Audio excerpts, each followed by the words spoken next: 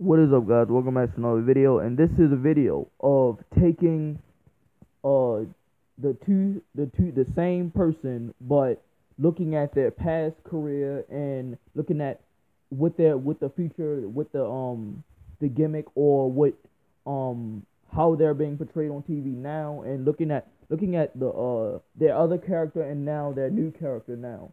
And I'm basically saying, Dean Ambrose or Jon Moxley, who's better? Dean Ambrose and Jon Moxley. Let's start with Dean Ambrose. I'ma just admit it. I was not a big fan of Dean Ambrose. I was not a big fan of Dean Ambrose. I'm sorry. I was not. He would. He could not. He was funny, but he did not get over.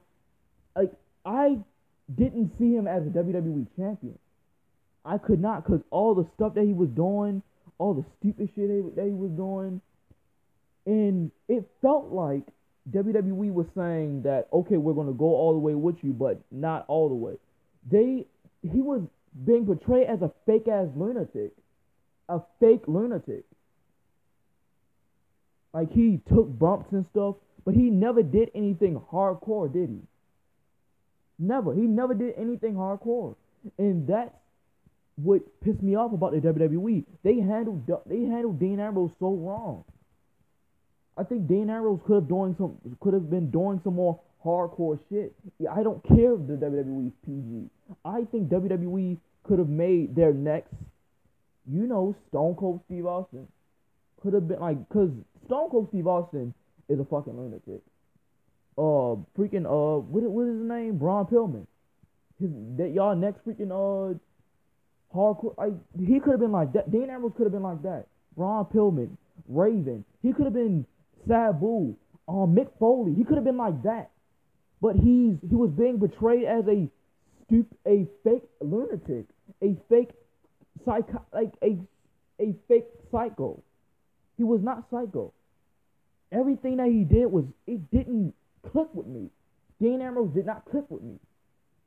And fast forwarding forwarding to the stuff that he did in 2018, his last run in WWE.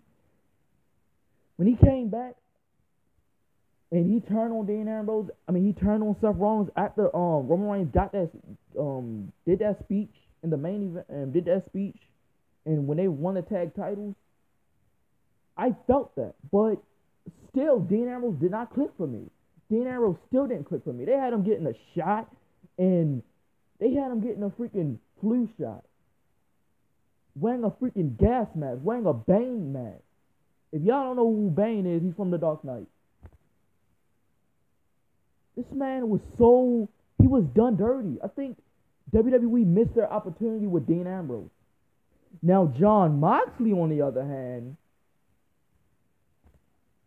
and I'm gonna just say this right now, I was not a big fan of indie wrestling. I am not a big fan. Well, I would well add well when I was younger, I was not a big fan of indie wrestling. I was never watching indie wrestling. I would like I'm not gonna lie, I knew who the Bullet Club was. I knew who Kenny Omega, AJ Styles, Finn Balor was.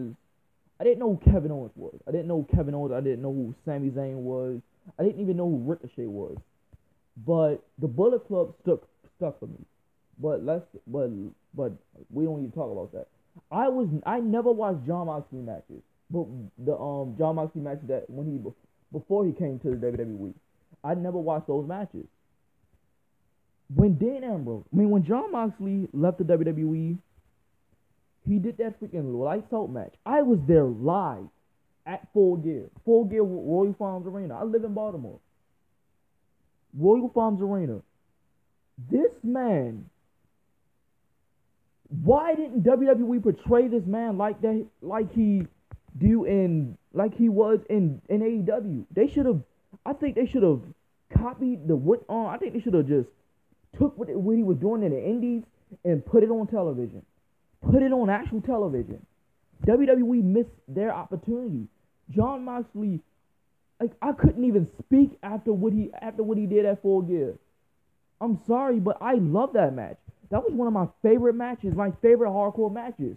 And now I'm sitting here watching indie wrestling. Now I'm I'm in here watching indie wrestling, watching hardcore matches, watching uh, death matches and all that stuff.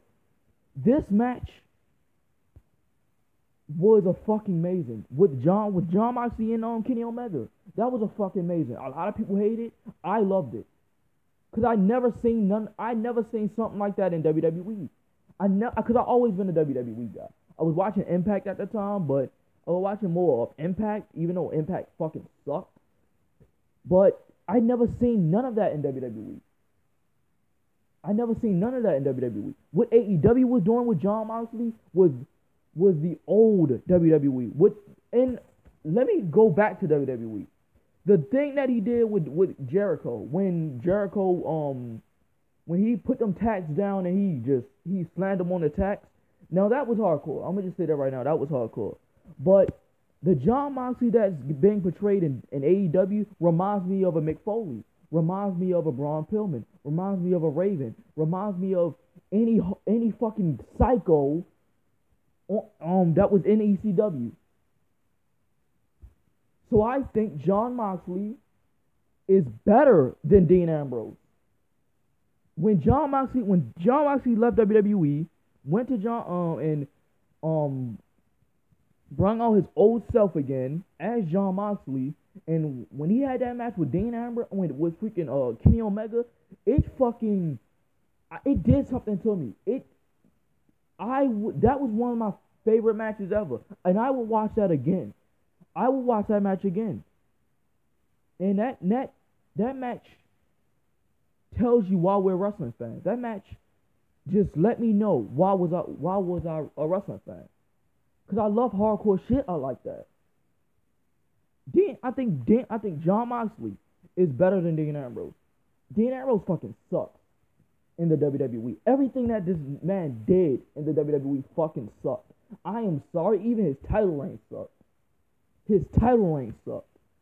How they wrote him off TV instead of having him go up against Reigns at WrestleMania, I just fucking bury him. Bobby Lashley. Y'all bury him with Bobby Lashley.